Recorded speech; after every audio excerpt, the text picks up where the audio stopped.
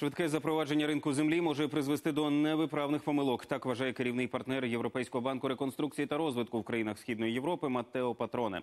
За його словами, українська влада постійно наголошує на тому, що потрібно поспішати із провадженням земельної реформи. А всі хиби можна виправити згодом. А ось у ЄБРР і Європейському інвестбанку закликають не квапитися та наголошують, що спершу треба вирішити питання з держземлями через приватизацію.